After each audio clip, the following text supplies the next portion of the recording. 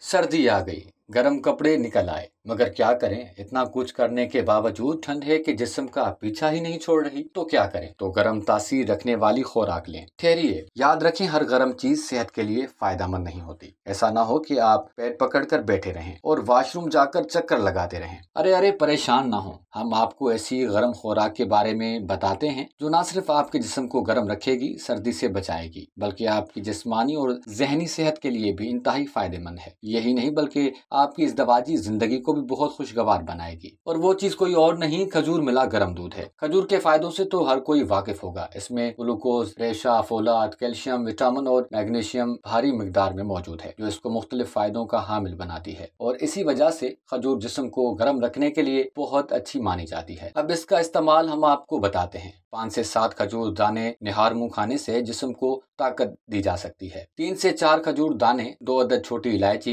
एक गिलास दूध का, मिलाकर गर्म करके रात को सोने से पहले पिया जाए तो आप न सिर्फ़ सर्दी से बचेंगे, बल्कि दिमागी ताकत, आँखों की रोशनी, जिस्म की ताकत, दिल और मजमू सेहत के बेशुमार फवायद हासिल कर सकते हैं। खजूर का दूध तखलीकी दिमाग को फरोग देता है और इस दूध में बेऔलादी के मसाइल हल करने की खसूसियात भी मौजूद है। खजूर में मौजूद मैग्नीशियम और पोटेशियम, हाई ब्लड प्रेशर की सतह को कम करते हैं। इससे कमर और पट्टों का दर्द भी खत्म हो जाता है। सर्दियों का मौसम इंसानी जिस्म को सुस्त कर देता है। पर खजूर मिला दूध पीने से जिस्म चुस्त और तंदुरुस्त रहता है। तो इंतज़ार किस चीज़ का?